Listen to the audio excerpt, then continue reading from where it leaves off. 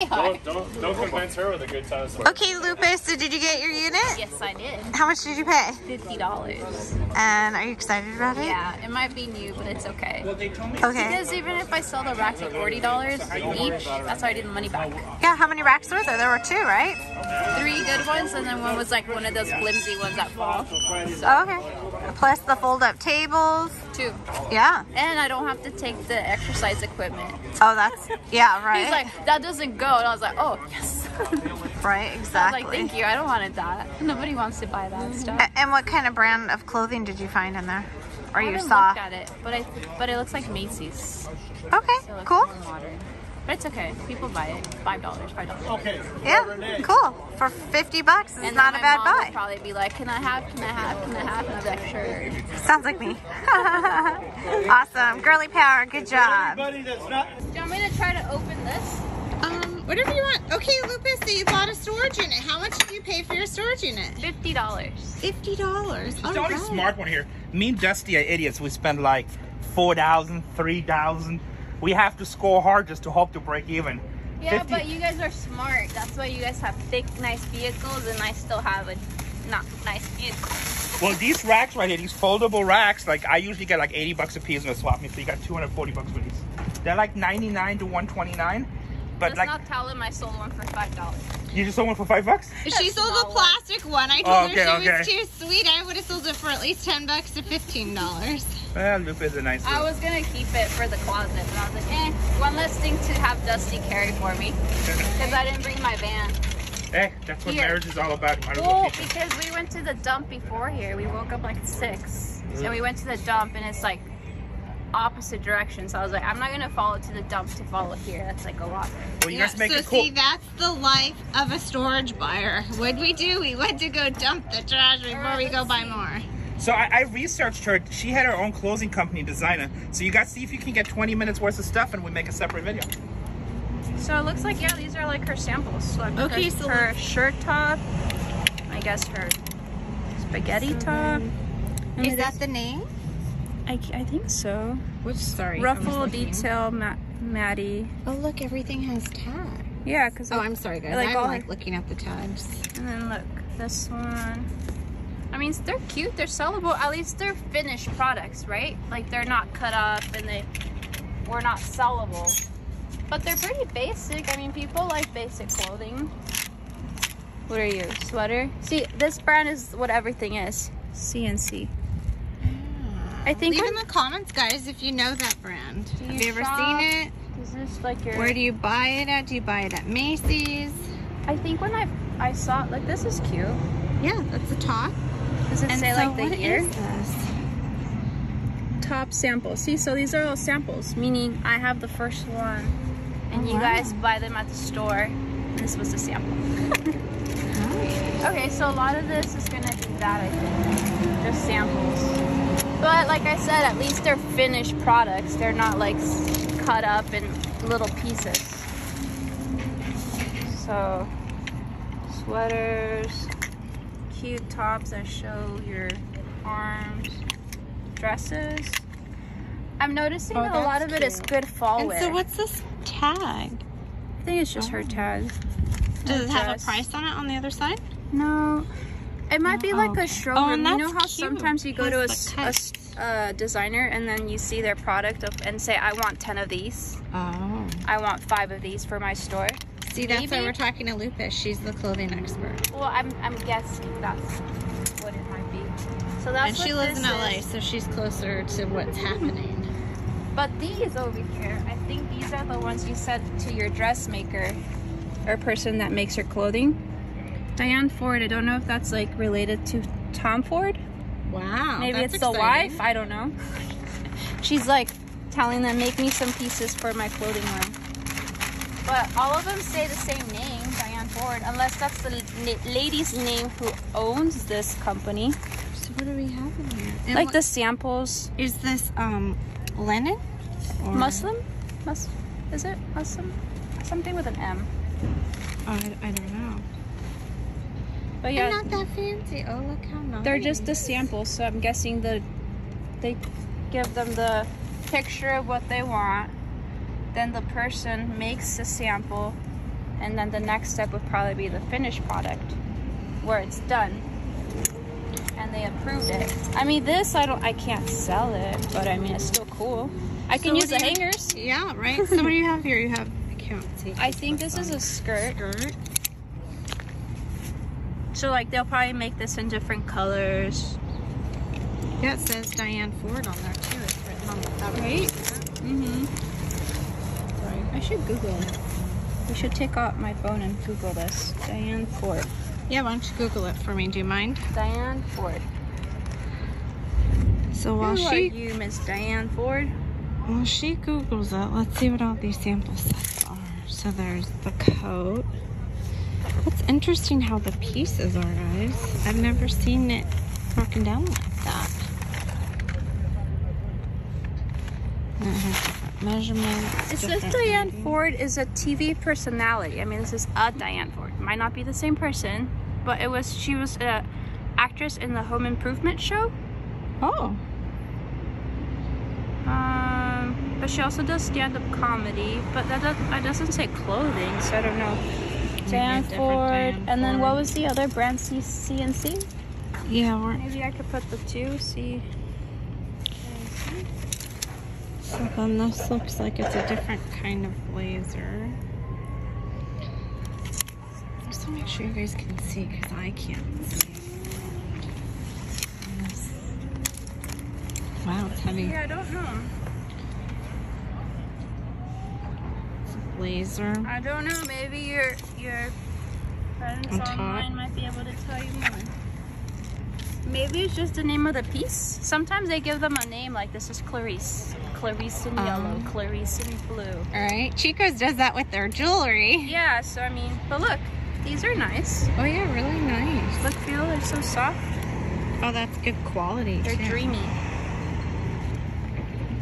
So I mean, I definitely got pieces I could sell. Look, they're nice. Oh yeah, that's nice. Yeah, They- that's a cool style right there. They are like modern, simple, everyday. Yeah, clean lines. I like this one with the See, collar. but this one tells you like. So this one, they're like, all right, let me show them what it could be in this color. Oh, that's cool. Yeah, see that, guys? It's a sample of two different colors. Mm-hmm. Heather gray. 31 and 78. So one's 31, one's 78. Okay, that's probably the color. So I'm really thinking that this might be from a showroom where the person it that is owns the CNC California company had their products and different stores would come and be like, all right, or buyers for stores would be like, all right, give us 10 of these for fall or, and then that's how they make more profit. But So these all are I all see- different cuts of Mhm. skirts. Yeah, Oh yeah. and then tops. Oh yeah. So this is what your clothing you buy on the store looks like before it goes to the store. Oh yeah, that's cool. This is the process. Well, it starts off probably with a drawing, and then it becomes a pattern, and then it becomes, I think it's muslin, the, the material. Um, and then they make it, and then if they decide what colors they want it, if they want it or not, then they sell it. that's really interesting to see how the process is. Mm-hmm. How did you get into clothing? yeah, how did you get into this? So I started with one yard sale. I still remember. I put out a blanket. I was probably like seven years old, but I would Really? go yard selling with my mom since I was since I can remember thrift stores. But I put it out. This lady came and she's like, "How much for everything?" And at the time, I was selling things for like a quarter, a dime, a nickel, or whatever. So I was like, "I don't know." And I looked at my mom and I was like, "I think I said like ten dollars for the whole like blanket of stuff." And I sold it. And after that, I was like. Oh, Money. people buy stuff. and then I just started going to estate sales in my bike, my rollerblades around town. But then in college, I started selling in an antique mall. I would sell like, I had a pretty big space and I would have racks with clothes that I would buy like after I finished my classes. I go to thrift stores, buy pieces, and then I put it, or from storage buyers that were in town that would sell at like certain thrift stores. I just buy, set up my booth, but then I, when I moved here, finished college, then I started selling at the Rose Bowl. Oh yeah. then I Rose met Dusty, and then we started buying clothing. storages. So where did you grow up and start doing this at first? Where did you go to college? I went to, well, I went, at first it was um, College of the Sequoias. Okay, so, So you're grew not a up north. Oh, okay, Northern California. Mhm. Oh, okay. Small little town. Lindsay, California. Oh, nice, nice. Yeah, so- and Rose Bowl, we've sold there one time, and we sold rugs, and like I couldn't get over how much clothing there is. So people come all the way from Japan Oh, yeah. To come out to buy clothing, and they mm-hmm. send it by the bundles to Japan. Oh yeah. and they pay big bucks for vintage. That's pretty- how she knows so much. Yeah, I, I mean, pre-COVID, it was probably better. Now it's, I guess they have like direct lines where they have contacts and they could buy easier. But now I sell more like 2000s clothes, Oh, okay. Y2K, 90s. It's what I've always liked. But And I should send you a picture of me when I used to volunteer at a thrift store when Oh, I was in, yeah. in high school, and I'm dressing up my cousin because I and I always like vintage. I dressed her up with vintage clothes. Nice. And yeah, and all the kids the- are into the 2000s now. Mhm. Tatiana's into that. Yeah, yeah. So it's like stuff that I grew up with wearing, and I've always liked anyways. So I was like, oh, okay. So I knew this was modern. I didn't. It wasn't gonna be vintage, but it's sellable. Yeah, exactly. And the racks, I the racks. Yeah, because see, they have double feet. So if you guys ever buy a rack, see how there's two bars right here? If you're ever selling anything, always get the two bars because then it's more sturdy. And trust me, it's gonna save you. Always have the right equipment. And And- people will pay top dollar for it too. If you see it, buy Yeah, it, I mean, sell it. Let go, fifty bucks, forty bucks. Your husband said he sells them for eighty dollars. Yeah, 80. We used to sell them in our store for $79.99 because we pay $100 for them. And that was like when we first opened our store, that was like, I don't know what, 15, 16 years ago? Too long ago. and But then you. even like the hangers too. Like I can use hangers, I can use the racks, I can use the tables. So Oh, yeah, I, I the told tables, Dusty too. I probably would only go 150 on it. So I was like, I, I can't go more than that because Yeah. I know the closest modern. And, and what is this? Is this, um, This here, is that a textile or is it Yeah. fabric? it might be what they use. I, I need to look it up. Maybe I'm saying this wrong, but I think it's muslin, and I think that's what they use to make the patterns. Like Oh, okay. The material. Oh, so cool. my mom likes making clothes and stuff, so I'll give it to her. She'll use it. Cause they'll probably give me I don't know thirty dollars for it. I think you're too cheap. I I think I need to give you a lesson on selling for bigger do. bucks. I do sell cheap. Yeah, because that in our store, depending on what the color is, because let's see how Maybe much like the 100 weight is. bucks, maybe? Oh yeah, yeah, I would say at least sixty dollars, depending on See, the this color. one is a good one that my mom would like. Oh yeah, let's see. So this Is there weight could- to that? Oh yeah, there's weight. It's nice. Because this is what soft. they use for them patterns. Yeah. So she can cut up a pattern. She wants to make jackets. She likes making jackets. So Yeah, that's one thing I learned in the store is that fabric and all kinds of sewing stuff goes for big money. that's Like don't undervalue it because it's Joann's super expensive. Yeah. But it's the good thing about a thrift store is you get a lot of people. At the swap meet it's just whoever's there and whatever they want to give you, and then I want to haul it back. Yeah. So if there's anything you could teach our viewers about buying and selling with clothing, is there any tips or tricks that you have? I got distracted. This is men's clothing. Yeah. Whoa, look, 125. oh my god. Why? At Venice? Made in Peru? Oh, because cotton cotton has gone up since I think the pandemic. There's um my mom says it's really hard to find 100% cotton. Look. Oh, Kenneth Cole. Well, okay, well these are twenty-two dollars, but still. Another one of those supposedly expensive ones, seventy-five dollars. This will probably tell us that somebody was looks like an order sheet. They want a certain amount. Thirty-nine, two, one. Oh wow. Really, what Anything I else you can got in there? See what you can sell. That's what Dusty taught me. Always See pay what what other can see. people are selling.